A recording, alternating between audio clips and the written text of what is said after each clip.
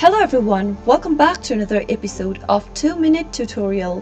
In today's video, I'm going to show you how to delete NVIDIA account. Watch the video till the end to learn how and don't forget to subscribe to our channel by hitting that subscribe button. Press the notification bell so that you'll never miss another upcoming upload from us. Open up a preferred web browser to get started. In the search box, search for NVIDIA delete account. Click on this first link that you see in the search result. There, you'll be able to find a link which will help you delete your account. Click on the link provided in the display and it'll take you to your NVIDIA Privacy Center. Scroll down and click on Delete My Data. Click on the Continue button under Select an account if you have an account through NVIDIA or affiliate. If you don't have an account, you can click the continue button at the bottom. After you click on the continue at the top, you'll need to now log in with your provider. Select NVIDIA from the display and enter your email address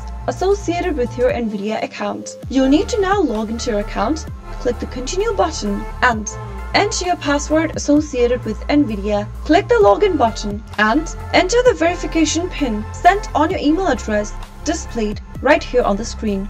Open up your inbox and you'll receive an email from NVIDIA. Click on it to open it up and copy your authentication PIN. Enter the PIN in the verification tab and click on continue. You'll be able to see the delete my data option displayed on the next page. In order to delete the data associated with your profile, if you're currently subscribed to paid GeForce Now, make sure that you've cancelled the plan. If you've not done that yet, click on this cancel this plan link and follow through the prompts before completing your account deletion process. After you are done with it, click delete my data. Now your account deletion has been scheduled. You'll receive an email confirming your account deletion request and you'll need to wait 14 days. If you have any additional request you would like to make, with the account. Now click on the continue button and all you need to do now is to wait for an email stating that you've successfully deleted your account. That is how you can easily get rid of your NVIDIA account if you don't want to use it anymore.